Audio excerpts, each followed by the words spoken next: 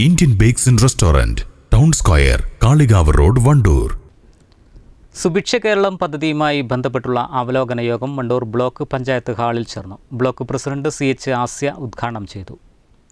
കോവിഡിന്റെ പശ്ചാത്തലത്തിൽ കേരളവും ലോകവും മൊത്തത്തിൽ ലോക്ക്ഡൗൺ ആയ സമയത്ത് കൃഷി എങ്ങനെ പ്രോത്സാഹിപ്പിക്കണമെന്ന് നമ്മൾ എങ്ങനെ സ്വയം പര്യാപ്തതയിലേക്ക് എത്തണമെന്ന് ഓരോ വീട്ടിലും വീട്ടിലെ കുടുംബാംഗങ്ങളും ചിന്തിച്ചുകൊണ്ടിരിക്കുന്ന സമയത്ത് ഇന്ന് കേരള ഗവൺമെന്റ് പ്രഖ്യാപിച്ച സുഭിക്ഷ കേരളം എന്ന പദ്ധതി നമ്മുടെ ബ്ലോക്കിൽ വണ്ടൂർ ബ്ലോക്ക് പഞ്ചായത്തിൽ എങ്ങനെ ഭംഗിയായി നടപ്പിലാക്കാൻ പറ്റും എന്ന് കൂടി ആലോചിക്കാനാണ് ഇന്ന് മീറ്റിംഗ് വെച്ചിട്ടുള്ളത്.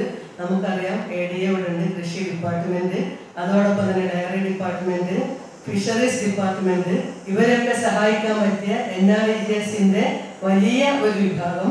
അതോടൊപ്പം തന്നെ P M K S Y തൊഴിലുറപ്പ് പദ്ധതിയിൽ കൂടെ തന്നെ എങ്ങനെ P M K S Y നടപ്പിലാക്കുന്ന പഞ്ചായത്തുകളിലുള്ള സഹായം എങ്ങനെ ലഭിക്കും എം കെ എസ് പിയുടെ പദ്ധതി എങ്ങനെ നടപ്പിലാക്കാൻ പറ്റും അതിന്റെയൊക്കെ അപ്പുറത്തേക്ക് ഇതിലൊക്കെ എങ്ങനെ ബ്ലോക്ക് പഞ്ചായത്ത് അംഗങ്ങൾക്ക് ഗ്രാമപഞ്ചായത്ത് അംഗങ്ങളെ ഭരണസമിതികളെ സഹായിക്കാൻ ഈ പദ്ധതികളൊന്ന് സംയോജിപ്പിക്കാനുള്ള മാർഗം എന്ത് എന്ന് ഉറക്കെ ചിന്തിക്കാനാണ് ഇത്രയും തിരക്കിനിടയിൽ ഈ ഒരു മീറ്റിംഗ് വെച്ചിട്ടുള്ളത്.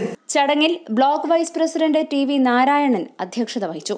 A D A Shakeela veterinary surgeon Abdul Gafoor joint B D O Jacob Sakkariya Sivaprasad തുടങ്ങിയവർ പദ്ധതിയെക്കുറിച്ച് വിശദീകരിച്ചു.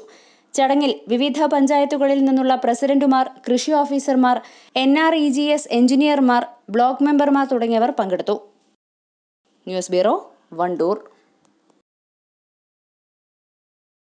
Parco Swarnanjali gold Nilambur road Wandoor.